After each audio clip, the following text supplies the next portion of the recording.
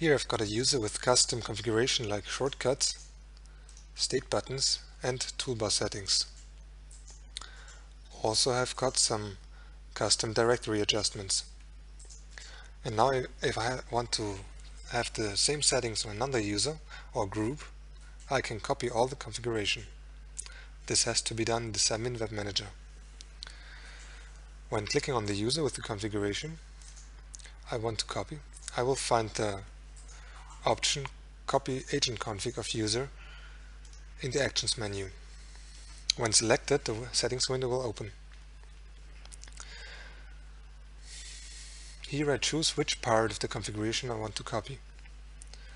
Window positions includes the positions and sizes of all agent windows, like the busy lamp field, the agent configuration and the main window. It also contains the sizes of the different areas in the agent window like the queue list or the directory. Keyboard shortcuts is to copy all the keyboard settings. Directory configuration is for all settings related to the phone books. These include the columns, their order and size, as well as search op options and others. Queue settings is for the greeting proposal, ringtones and welcome waves. The general settings contain everything else that can be configured in the agent.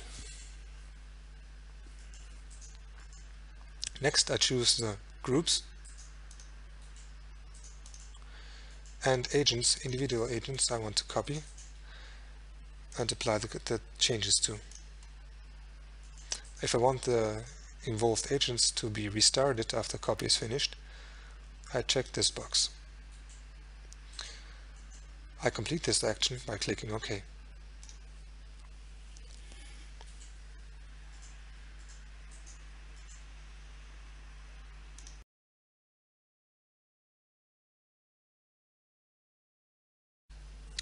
If a user enters a password wrong too many times, his account gets locked automatically.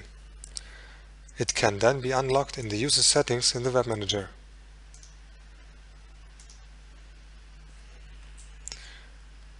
Here in the security settings, the amount of maximum logon attempts can be configured.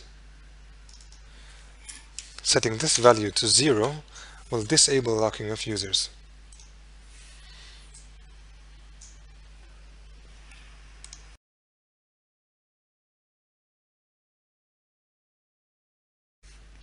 Each skill can now be assigned specific colors. These appear in the queue list and on the notification window in the bottom right corner of the screen.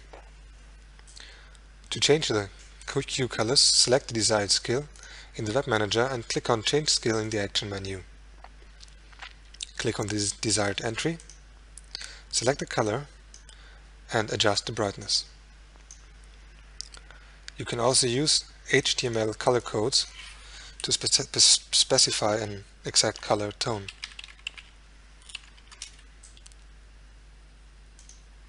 Using custom queue colors in the agent software is now deprecated and will be removed in a future version.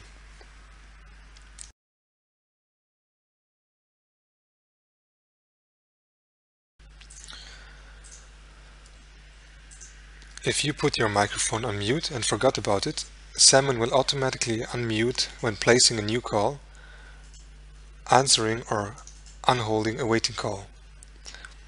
This can be enabled in the agent's audio settings. This is also the case if you're using a Jabra audio device with a setup Jabra PC suite.